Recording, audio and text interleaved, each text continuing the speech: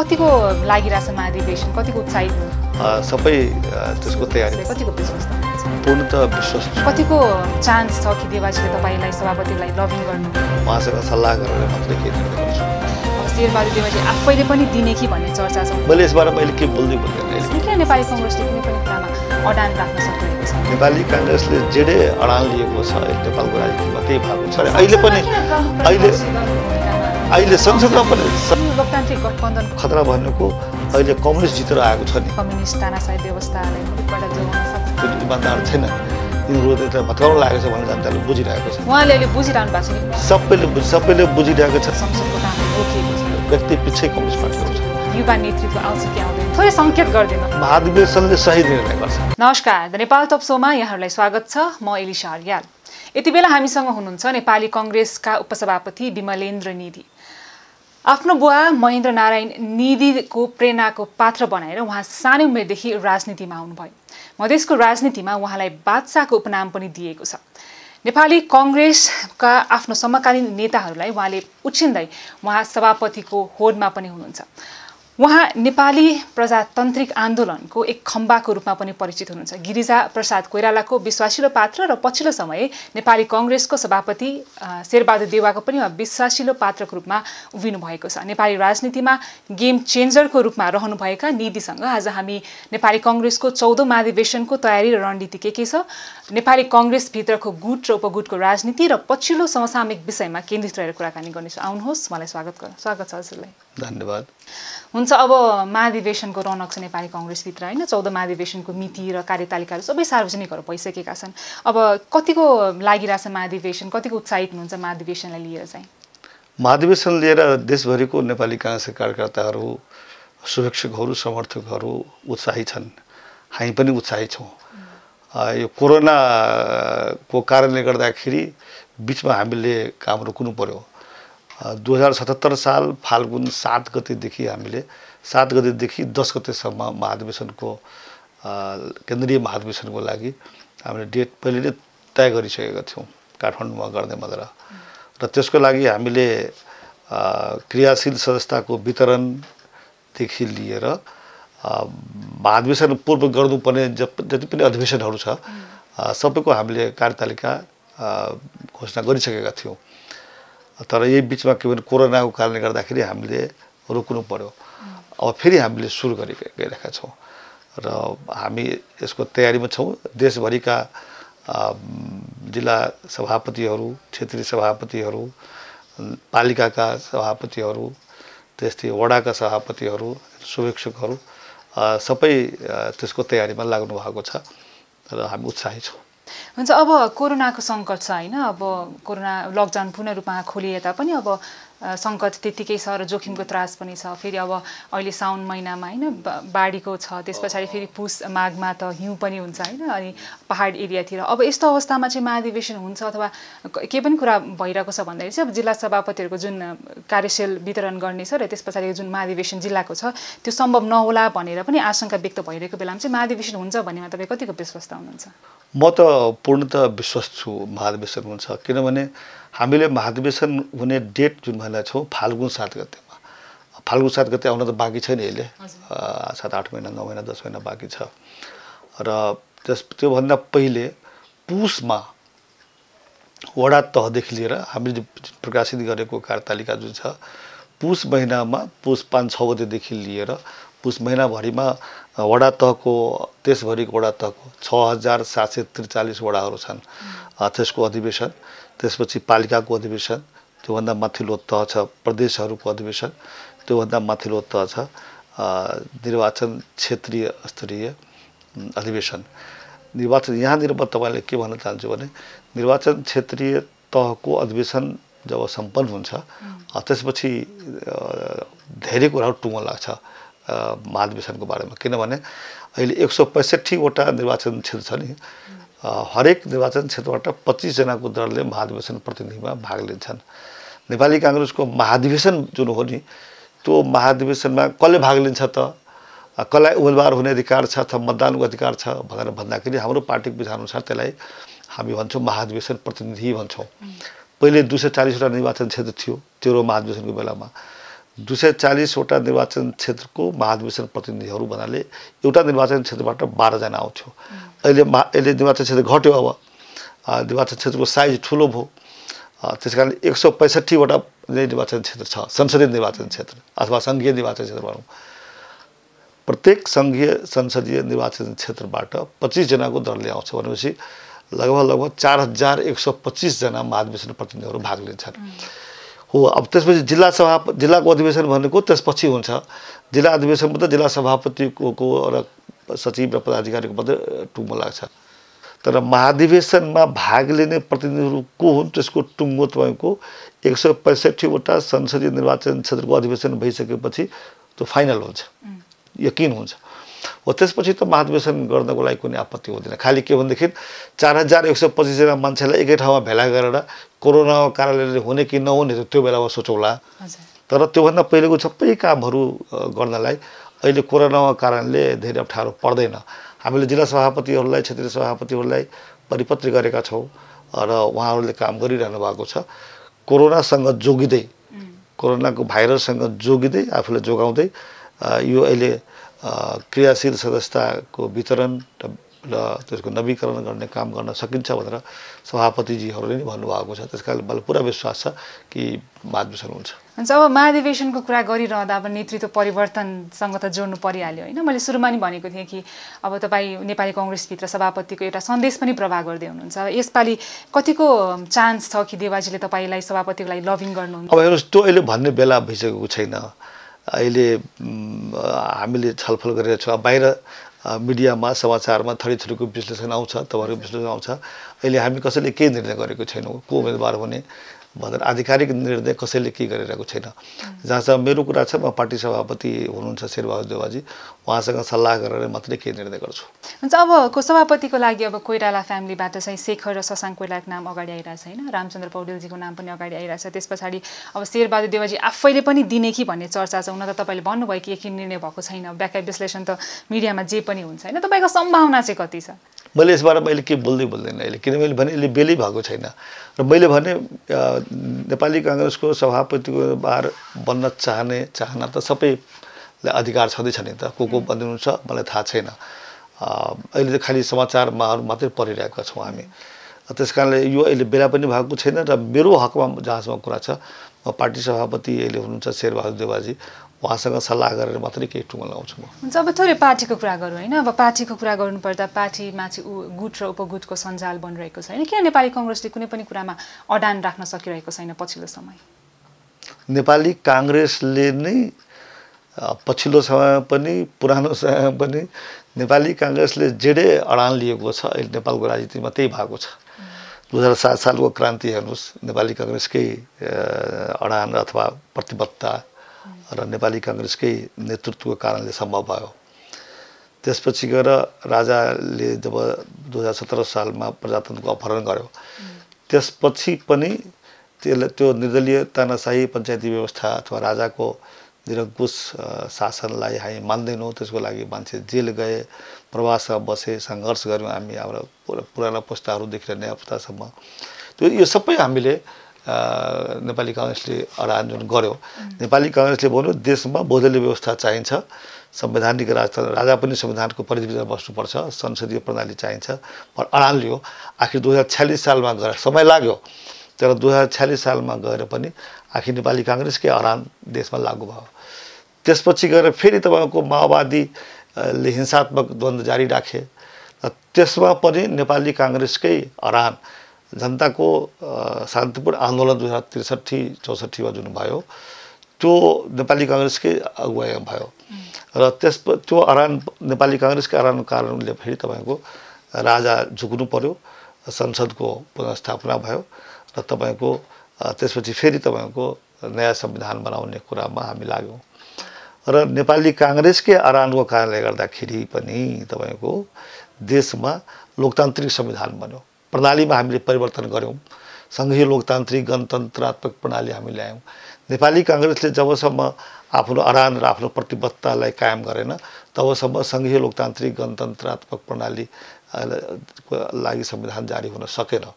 त्यस कारण तपाईँले भने जस्तो नेपाली काङ्ग्रेसकै अराम छ। तपाईँले पछिल्लो दिन भएन भन्नुहुन्छ पहिलो दिन भएन सबै कुरा नेपाली। अहिले पनि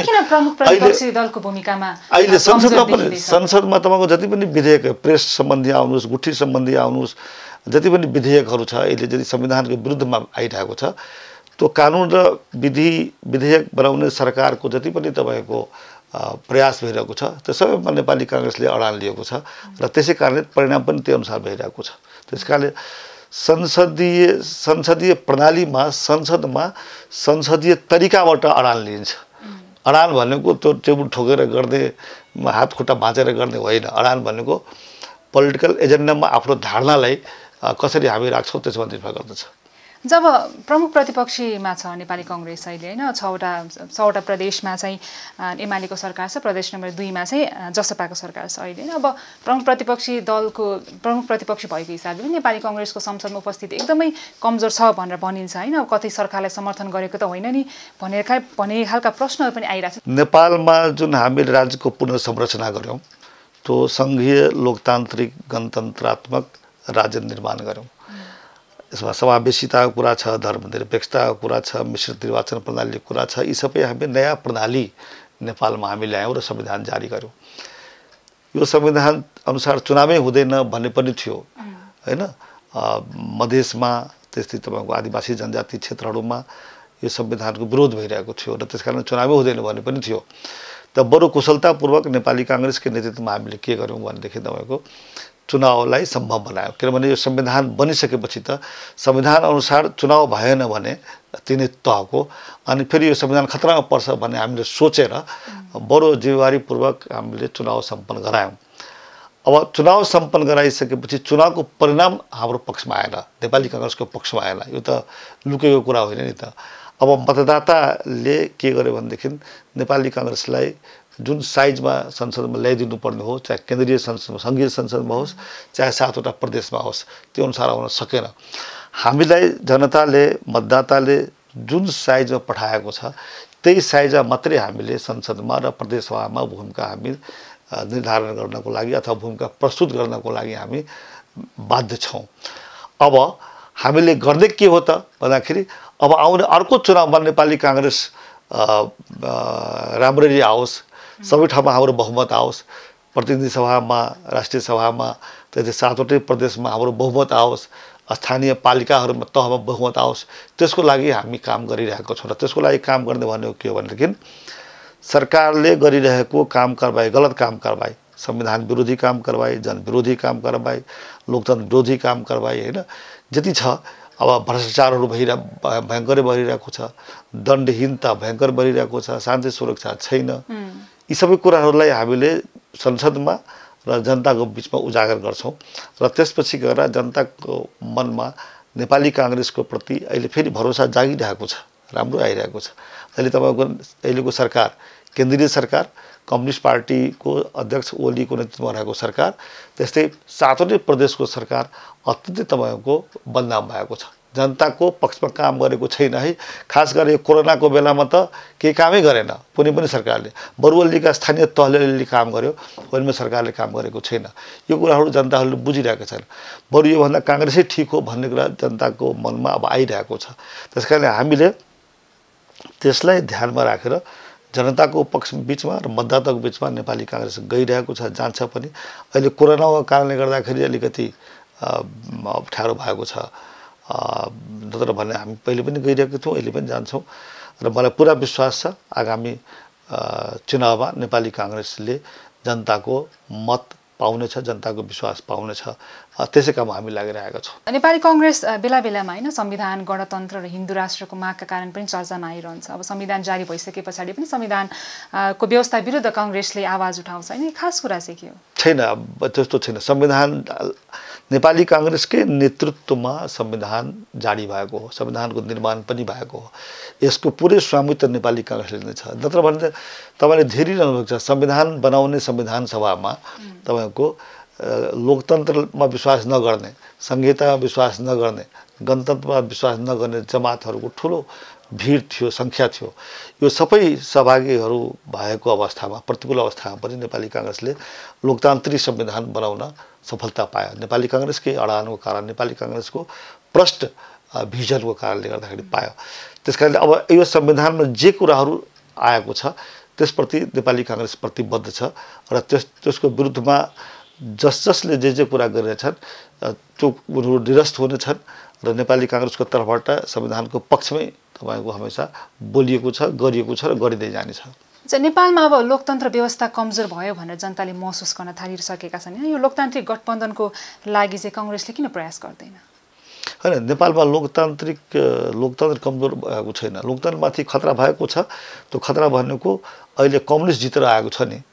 त्यस कारणले हो। कम्यु किनभने कम्युनिस्टहरू लोकतन्त्रमा विश्वास गर्दैन कम्युनिस्ट भनेको तपाईँले सुन्नुभएको होला तपाईँको मार्फत भन्न चाहन्छु। कम्युनिस्टको दर्शन र सिद्धान्त नै के हो भनेदेखि जनवादी केन्द्रीयता। जहाँ जुन किताबमा जुन पत्रिकामा जुन भाषणमा जुन शब्दमा जनवादी केन्द्रीयताको उच्चारण हुन्छ लेखेको हुन्छ त्यो भन्न ठान्नुहोस् त्यो तानाशाही प्रणाली हो। कम्युनिस्टहरू जनवादी केन्द्रीयतामा विश्वास गर्छन्। र अर्को भाषा भने छ जनताको जनवाद भनेर। त्यो पनि कम्युनिस्टको एकदलीय सर्वसत्तावादी तानाशाही प्रणाली नै हो। त्यस कारणले यो अहिले गएको चुनावमा जनताले कम्युनिस्ट पार्टीलाई नै भोट दिएको हुनाले सरकारमा त कम्युनिस्ट पार्टी नै छ। जो कि कस्तो अप्ठ्यारो छ भने कि ड्राइभिङ सिटमा गाडी चलाउने ड्राइभिङ सिटमा त्यो गाडीलाई मन पराउने गाडीको कुरा बुझ्ने ड्राइभर भएन भने त्यो दुर्घटना हुन्छ। हो त्यो खतरा चाहिँ अहिलेको छ। र त्यो खतराले अब जनताले बुझिरहेका छन्। जनताले यो कुरा बुझेको छ लोकतन्त्र असफल भयो लोकतन्त्र कमजोर भयो भने त बुझेको छ असफल भयो भने बुझेको छैन। र लोकतन्त्रमाथि खतरा छ लोकतन्त्र कमजोर भयो कसो कारणले? त कम्युनिस्टहरूलाई जिताएको कारणले कम्युनिस्ट सरकार भएको कारणले। त्यस कारणले अब लोकतान्त्रिक प्रणालीमा आवधिक चुनाव हुने जुन पद्धति हो यसै कारणले हो। चार वर्ष पाँच वर्षसम्म जनताले हेर्छ। जनतालाई जब लाग्दछ कि यो पार्टीले राम्ररी काम गरेन भनेदेखि त जनताले अर्को पार्टीलाई भोट दिन्छ। हामी त्यही आशामा छौँ। लोकतन्त्र भनेकै त्यही हो। त्यस कारण हामीलाई पुरा विश्वास मैले अघि पनि भने आगामी चुनावमा लोकतन्त्रलाई कमजोर पार्ने त यो कम्युनिस्ट पार्टी पो रहेछ त। यो भोट उसलाई दिएका थियौँ अब यसपालि त्यसलाई दिनु हुँदैन। लोकतन्त्रमा विश्वास गर्ने एकमात्र पार्टी नेपाली काङ्ग्रेस नै हो। यसैले भोट दिनुपर्छ भन्ने कुराहरूको वातावरण बन्दै गइरहेको छ र त्यही अनुसार हुन्छ भन्ने मैले विश्वास लिएको छु। हुन्छ अडतिसौँ बिपी स्मृति दिवसको दिन तपाईँले नै भन्नुभएको थियो होइन? आगामी महाधिवेशनपछि चाहिँ अ, लगत्तै हुने निर्वाचनमा चाहिँ कङ्ग्रेसले मत पाएर कम्युनिस्ट तानाशाही व्यवस्थालाई मुलुकबाट जोगाउन सक्छ भनेर भन्नुभएको यसलाई थोरै व्याख्या गरिदिनुहुन्छ। मैले के भनेदेखि यो कम्युनिस्ट सरकार आएको तिन वर्ष जति भयो होइन उसको हरेक एक्टिभिटिजहरू उसले के गरेको छ भने जति पनि संसदमा कानुन बनाउनको लागि प्रस्ताव पेस गरेको छ जसलाई विधेयक भनिन्छ त्यो सबै संविधानको विरोधी रहेछ। संविधानको विरुद्ध उल्टो उल्टो संविधानलाई कमजोर पार्ने। संविधान भन्दा कानुन तपाईँको विपरीतमा आउने। अनि त्यसलाई हामीले विरोध गरिरहेका छौँ। एक दोस्रो कुरा प्रेस स्वतन्त्रताको कुरा हुन्छ। त्यस्तै तपाईँको निजामती सेवाको कुरा हुन्छ मजदुरहरूको स्वतन्त्रताको कुरा हुन्छ किसानहरूको स्वतन्त्रताको हकको कुरा हुन्छ यी सबै विरुद्धमा तपाईँको सरकारले एकपछि अर्को तपाईँको प्रस्तावहरू ल्यायो कानुन बनाउने प्रस्तावहरू ल्यायो।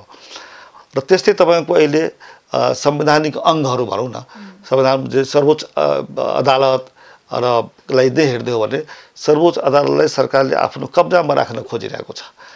प्रधानमन्त्रीले के गरेको भनेदेखि तपाईँको सङ्घीय सिद्धान्तअनुसार केन्द्रको अधिकार र केन्द्रको संरचनाहरू तल्लो निकायमा पठाउनु पर्ने प्रदेशमा स्थानीय तहमा पठाउनु पर्ने सबै तपाईँको प्रधानमन्त्री कार्यालयमा कानुन बनाएर ल्याएर आफै हेर्दैछन्। अनि यसरी हेर्दाखेरि के भनेदेखि यो लोकतान्त्रिक हुनुभन्दा पनि केन्द्रीकृत प्रणालीतिर सरकार त्यो भनेको के हो भनेदेखि अधिनायकवादी प्रवृत्तितिर जाँदैछ सर्वसत्तावादी प्रवृत्तितिर जाँदैछ। त्यसैले मैले के भनेको छु भनेदेखि अब जनताले बुझेका छन् यही कम्युनिस्ट सर पार्टीको सरकार रहिरह्यो भनेदेखि तपाईँको यो संविधानमाथि नै खतरा छ यो प्रणालीमाथि नै खतरा छ। यो जनताले अब बुझ्न थालेका छन्। त्यस कारणले अब आउने चुनावमा यो कम्युनिस्ट प्रणाली सर्वसत्तावादी प्रणाली अधिनायकवादी प्रणालीतिर जुन अगाडि बढ्न लागेको छ त्यो बढ्न लाग्ने दललाई त्यो प्रवृत्तिलाई जनताले आफ्नो मतद्वारा रोक्नेछ। त्यस कारणले यो जोगिनेछ भन्ने मैले भनेको त्यही हो। र अहिले जुन सङ्घीय लोकतान्त्रिक गणतन्त्रात्मक प्रणाली हामीले ल्याएका छौँ त्यो प्रणाली तपाईँको जनताको पक्षको प्रणाली हो र यसलाई जोगाउनु पनि पर्छ यसलाई सफल कार्यान्वयन पनि गर्नुपर्छ। यसो पक्षमा हामीले जनतालाई भन्नु पनि भन्दै गइरहेको छु अरू जनताले भोट दिनेछन्। मैले त्यसैले भनेको छु अब कसलाई भोट दिनेछ भनेर भन्दाखेरि लोकतन्त्रवादी शक्तिलाई। लोकतन्त्रवादी शक्ति को हो भनेपछि नेपालमा नेपाली काङ्ग्रेस मात्रै छ अरू कोही छैन। हुन्छ अब यहाँको आशय चाहिँ नेपाली कङ्ग्रेसले अब अर्को पालि निर्वाचनमा सरकार चलाउँछ भन्ने हो होइन? अब यस्तो अवस्थामा अहिले नेकपाको सरकार जुन छ झन्डै दुई तिहाई बहुमत छ होइन? अब यस्तो अवस्थामा नेकपालाई नेकपालाई चाहिँ अब हराउनको लागि अर्को निर्वाचनमा चाहिँ कङ्ग्रेस एकजुट हुन पनि आवश्यक छ। अब यो गुटगतको राजनीति छ कङ्ग्रेसभित्र जुन गुटको कुराहरू हामी सुनिरहेको हुन्छौँ होइन? यस्तो अवस्थामा चाहिँ कसरी तपाईँ ढुक्काउन सक्नुहुन्छ कि अर्को पालि नेपाली कङ्ग्रेसको सरकार आउँछ? अब नेपाली काङ्ग्रेसका नेताहरू गुटमा लाग्नेहरूले यो कुरालाई यो कुरालाई बुझेका छन्। महसुस गरेका छन् कि हाम्रो आफ्नै आन्तरिक कमी कमजोरी पनि हो एउटा हार्ने कारण। महसुस गर्नु र बुझ्नु भनेको ठुलो कुरा हो। पहिलो शर्त हो सफल उहाँले अहिले बुझिरहनु भएको छ कि? सबैले बुझ सबैले बुझिरहेको छ। नम्बर एक त्यस कारण नेपाली कङ्ग्रेसमा अब महाधिवेशनपछि एकता आउँछ। त्यो महाधिवेशन पनि एकताको महाधिवेशन हुन्छ। र त्यसपछि नेपाली काङ्ग्रेस एक हुन्छ र नेपाली काङ्ग्रेस एक हुने भनेको एजेन्डामा एक हुनु हो विचारमा एक हुनु हो।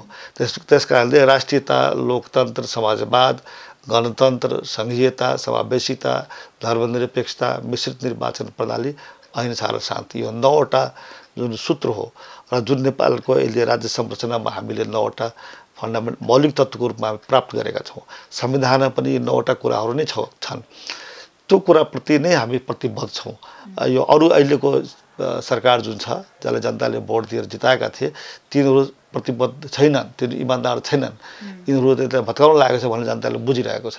त्यस कारणले नेपाली काङ्ग्रेस युनाइटेडली अब यो महाधिवेशनपछि अगाडि बढ्छ। र युनाइटेडली आगामी चुनावमा जान्छ। गुट उपगुट तपाईँको सबैको व्यवस्थापन हुन्छ भन्ने मैले विश्वास लिएको छु। हुन्छ अब तपाईँ नेपाली कङ्ग्रेसको उपसभापति होइन अब फेरि तपाईँलाई नेपाली नेकपाभित्रको विवाद कसरी लिइरहनु भएको छ भनेर प्रश्न सोद्धाले उपयुक्त पनि नहोला। तर पनि जुन सरकारको जुन अहिलेको पछिल्लो गतिविधि कारणले गर्दा जुन संसदको कामहरू रोकिएको छ जुन सरकारको कामहरू छ जुन जनताको लागि काम गर्नुपर्ने छ त्यो सबै रोकिएको अवस्थामा चाहिँ नेपाली कङ्ग्रेसले यस्तो अवस्थामा कसरी हेरिरहेको छ? नेपाल कम्युनिस्ट पार्टी मैले भने यो कम्युनिस्ट पार्टी भनेकै के हो भनेदेखि लोकतन्त्र विरोधी पार्टी हो लोकतन्त्रमा विश्वास नगर्ने पार्टी हो संहितामा विश्वास नगर्ने पार्टी हो समावेशतामा विश्वास नगर्ने पार्टी पटक पटक भन्दै आएको छु। जुन पार्टीले लोकतन्त्रमा विश्वास गर्दैन त्यसले आन्तरिक जीवनमा पनि तपाईँको खतरा बेहोर छ द्वन्द्व बेहोर छ झगडा बेहोर छ तपाईँले याद नेपालमा तपाईँको अहिले पो ठुलो पार्टी भएको छ तर नेपालको कम्युनिस्ट पार्टीकोहरूको इतिहास हेर्नु भनेदेखि तपाईँको सबै चिरा चिरामा भएर तिसवटा बत्तिसवटा तेत्तिसवटा कम्युनिस्ट पार्टीहरू छन् व्यक्ति पछि कम्युनिस्ट पार्टीहरू छन्। अहिले तपाईँको नक्कली तरिकाले जोडिएका छन् यिनीहरू। त्यस कारणले अब हामीले अर्काको पार्टीको आन्तरिक झगडामा धेरै रुचि त राख्दैनौँ। तर राष्ट्रिय राजनीतिमा त्यसको प्रभाव त पर्छ हामी हेर्दै गइरहेका छौँ। त्यस कारणले नेपाल कम्युनिस्ट पार्टीको यो झगडाले देशलाई र लोकतन्त्रलाई तपाईँको सही दिशा दिन सक्दैन भन्ने मलाई लागिरहेको छ। र यो उनीहरूको झगडा कुन रूपमा अगाडि बढ्दैछ त्यो हामी हेर्दैछौँ। यसले राजनीतिक रूपमा दुष्परिणाम पनि ल्याउन सक्छ र यसले कस्तो किसिमको दुष्परिणाम? मलाई खालि खतरा के छ भने यिनीहरू झगडा गर्दा गर्दै एकता दुइटै अवस्थामा झगडाले पनि र एकताले पनि प्रणालीमाथि नै खतरा ल्याउँछ कि भन्ने चिन्ता हो। अब तिन वर्ष भयो होइन निर्वाचनको अब दुई वर्ष बाँकी छ। अब हुन त तिन वर्षमा यो सरकारले केही पनि काम गर्न सकेन भनेर जनताले निष्कर्ष निकाल्छ कि हुन त प्रमुख प्रतिपक्षी दल भएको हिसाबले त यहाँले त जहिले पनि सरकारको कमी कमजोरी औँला नै रहनु भएको छ होइन। अब दुई वर्षमा चाहिँ अब के लाग्छ यहाँलाई कि अब सरकारले अपेक्षा गरे अनुसारले काम गर्न सक्छ काम गर्दै गरेन। होइन हामीले नेपाली काङ्ग्रेसको केन्द्रीय समितिको यो विगतको तिन चारवटा बैठकले त्योभन्दा पहिले धेरै हामी अन्तर्क्रिया छलफल गऱ्यौँ। र त्यसपछि के निष्कर्ष निकालेको छ भने सबभन्दा अहिले अचानक आएको यो कोरोनाको। कोरोना भन्यो जीवनमाथि सङ्कट हो। यो साधारण स्वास्थ्य सङ्कट होइन। स्वास्थ्य सङ्कट र जीवनमाथिको सङ्कट दुइटा अलग अलग कुरा हो। कोरोनाले मान्छेको जनताको जीवनमाथिको सङ्कट ल्याउँदाखेरि पनि यो सरकारले त्यसलाई प्राथमिकता दिएर काम गरेन। र मैले अघि नै भने यसको चाहिँ गृह नीति होस् सुरक्षा नीति होस् कृषि नीति होस् मजदुर नीति होस् शिक्षा नीति होस् स्वास्थ्य नीति होस् हरेक क्षेत्रमा सरकार असफल भयो। विदेश नीतिमा सरकार असफल हो विदेशको भारत र चिनसँगको द्वन्द्वलाई यति बढावा दिएको छ सम्बन्ध भयङ्करै बिगारेको छ। भने कुनै पनि क्षेत्रमा सरकार सफल देखिएन। त्यस कारण नेपाली काङ्ग्रेसको केन्द्रीय समितिले के निर्णय गर्यो भनेदेखि कोरोनाको सङ्कट निवारणमा पनि यो कम्युनिस्ट को सरकार असफल रहेको छ अकर्मण्य रहेको छ र त्यस्तै राजनीतिक र विकासको सन्दर्भ पनि र जनताको हितलाई सम्वर्धन गर्ने क्षेत्र पनि यो सरकार असफल रहेको छ। त्यसैले यो सरकारलाई राजनीतिक रूपले र नैतिक रूपले शासन गर्ने आधार छैन अधिकार छैन भनेर हामी निर्णय गरिसकेका छौँ। र अहिले देखेको त्यही हो।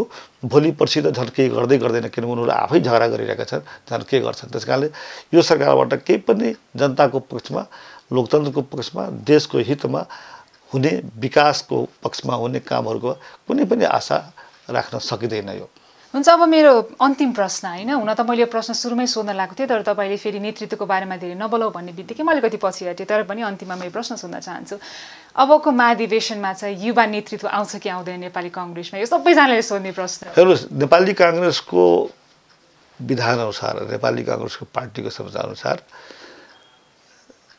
सभरेन जसलाई भन्छ नि नेपाली काङ्ग्रेसको सभरेन्टी भनेको महाधिवेशनमा सभरेन एक्जिक्युटिभ बडी भनौँ। क्रियाशील सदस्य पाँच लाख जति छ अहिले वर्ष छ लाख जति होला होला। महाधिवेशनले जे निर्णय गर्छ महाधिवेशनले नयाँ पुस्तालाई पुरानो सङ्केत गरिदिनुहोस् सबै महाधिवेशनले सही निर्णय गर्छ मैले ती मात्रै भन्छु। महाधिवेशन महाधिवेशनमाथि मलाई पुरा विश्वास छ। हामी सबैले विश्वास गर्छौँ। सबै नेताहरूले विश्वास गर्छन्। सबै पुस्ताले विश्वास गर्छन्। त्यस कारणले महाधिवेशन नै सर्वाधिकार सम्पन्न निकाय हो।